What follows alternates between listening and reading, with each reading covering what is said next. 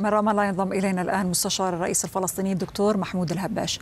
دكتور محمود أهلا بك على شاشة الحدث وفي برنامج الأخبار الليلة مرة أخرى. تابعنا معك هذا التقرير حول تاريخ التفاوض والحوار الفلسطيني الفلسطيني ولكن قبل أن نتحدث عن كل هذه النقاط استمعنا إلى تصريحات خالد مشعل ذكر فيها الكثير من النقاط اللافتة ولكن لنبدأ من النقطة الأولى منذ السابع من أكتوبر منذ ما سمي بطوفان الأقصى بدأ جدل بين من يدعمون حماس وبين المعارضين لما جرى. يقولون آه، ما جدوى ما حدث هل تستحق أي نتيجة؟ آه، عدد الضحايا والقتلى. خالد مشعل يقول إن غزة تدمرت وهذا ثمن المقاومة. هل تتفقون مع هذا التوصيف للوضع الآن؟ هل ما تحقق أو سيتحقق بعد السابع من أكتوبر يستحق عدد القتلى؟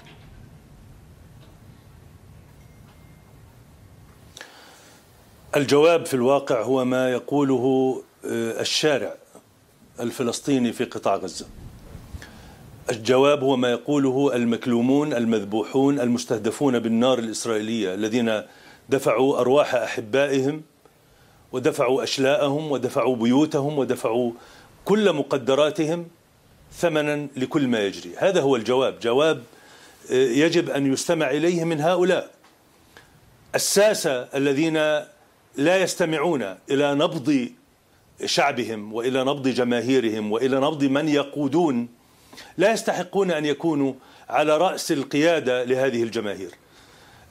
السياسي الحقيقي هو الذي يضع في صلب أول أولوياته أن يحمي من يقودهم نعم. أن يحمي مقدراتهم وأن يحمي حياتهم وأن يحافظ عليهم وأن يدافع عنهم لا أن يذبحهم ولا أن يجعلهم وقودا لسياساته هو ولمصالحه هو هذا هو الجواب الذي يجب أن نستمع نعم. إليه جميعا من هؤلاء المك المنكوبين في قطاع غزة. ولكن هناك وجهة نظر مختلفة ودعني انقلها دكتور محمود وبالتأكيد قرأت واستمعت الكثير من التبريرات يقارن بين ما يجري الآن في غزة وبين ما حدث في دول أخرى، دول عربية ربما.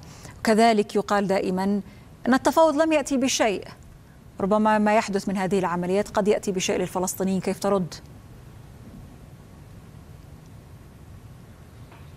التفاوض ليس أكثر من وسيلة كما أن المقاومة أيضا المقاومة المسلحة أقصد ليست أكثر من وسيلة. الوسائل تتغير ولكن الهدف لا يتغير. والوسائل دائما تخضع لحسابات المصلحة لحسابات الواقع لحسابات القدرات ولحسابات النتائج والمآلات.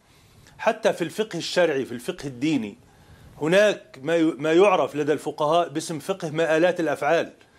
أن تستطيع أن تحكم على الشيء أنه نعم. حسن أو سيء ولكن أيضا بالنظر إلى مآلاته يأخذ أحكام أخرى حتى الفعل الحسن إذا كانت مآلاته سيئة أو مدمرة يصبح سيئا ومدمرا ويصبح مرفوضا وبالتالي حسابات السياسة وحسابات ال ال الأدوات والأهداف الوسائل والغايات تتغير بتغير الظروف وليس ما ينطبق على ساحة معينة في العالم العربي والإسلامي. يمكن أن ينطبق بالضرورة وبشكل حرفي على ساحة أخرى. يعني ما جرى في بعض الساحات العربية خلال مسيرة النضال أو مسيرات النضال العربي للتحرر لا ينطبق أو لا يمكن أن يطبق بالضرورة حرفيا على الوضع الفلسطيني. لماذا؟ الظروف مختلفة. الزمن مختلف القدرات مختلفة. نعم. ربما هناك من يقول إن الثورات متشابهة وفي الأخير يجب أن يدفع ثمن ما من أجل التحرر. آه كذلك ما الذي فعله التفاوض؟ لم تجيبني الدكتور محمد. التفاوض بحد ذاته إن كان فعل حسن مثل ما ذكرت الدكتور محمود هل حقق شيء التفاوض إلى غاية الآن؟ ولو خلينا نرجع للتاريخ نعم. قليلا ليس بعيدا. وإنما للتاريخ القريب. حتى عام 94 كانت القيادة الفلسطينية ومنظمة التحرير وحتى الكيانية الفلسطينية كلها غائبة. غائبة عن الوطن وغائبة حتى عن كل الشعب الفلسطيني. التفاوض الذي لم يأتي بالمناسبة ابتداء وإنما جاء انتهاء. التفاوض الذي قامت به منظمة التحرير الفلسطينية جاء بعد عقود عقود طويلة من النضال المسلح ودفع الثمن من الدماء والتضحيات والشهداء ثم بعد ذلك ذهب ذهبت المنظمة إلى التفاوض وعادت إلى الوطن وأعادت إنتاج الكيانية الفلسطينية نعم. وثبتت الكيانية الفلسطينية التي ناضل الشعب الفلسطيني منذ عام 1917 منذ وعد بلفور إلى اليوم من أجل أن يثبتها هذا لا يعني أنه إحنا أسرى أو يجب أن يكون أسرى لوسيلة ما من وسائل النضال سواء كانت وسيلة التفاوض أو وسيلة المقاومة المسلحة السياسي الحكيم الحصيف نعم. والقائد الحصيف هو الذي. يراوح بين خياراته بحسب الظروف بحسب الأوضاع يقدم السياسي عندما يجب أن يقدم السياسي ويقدم العسكري عندما يجب أن يقدم العسكري ويراوح بين الخيارات بما يحقق المصلحة وليس بما يجعل والملف الفلسطيني والقضية الفلسطينية في مرحلة تقديم الحل السياسي. من هنا ومن هناك. دكتور محمود القضية الفلسطينية اليوم في مرحلة تقديم الحل السياسي؟ منذ عام 1993 القضية الفلسطينية دخلت في منحنيات وفي منعطفات فرضت نعم. علينا فرضت على الكل الوطني أن يقدم العمل السياسي وأن يؤخر العمل العسكري قليلا هذا ليس إلغاء نعم. ولا تراجع عن فكرة المقاومة وما أحد بتراجع عن فكرة المقاومة واللي, بت... واللي ب... الآن يدعون أنهم آه، أصحاب المقاومة هم مرت عليهم فترة من عام على الأقل على الأقل من عام 67 لعام 90 آه، آه، لم يكونوا يؤمنون ولا يقبلون بالعمل المسلح. عندما كانت منظمة التحرير تمارس العمل المسلح كانت جماعة الإخوان تحرم العمل المسلح. نعم. كانت تحرم هكذا بهذا المفهوم وتمنع وتطرد تطرد كل عنصر أو عضو من أعضائها يلجأ إلى العمل المسلح.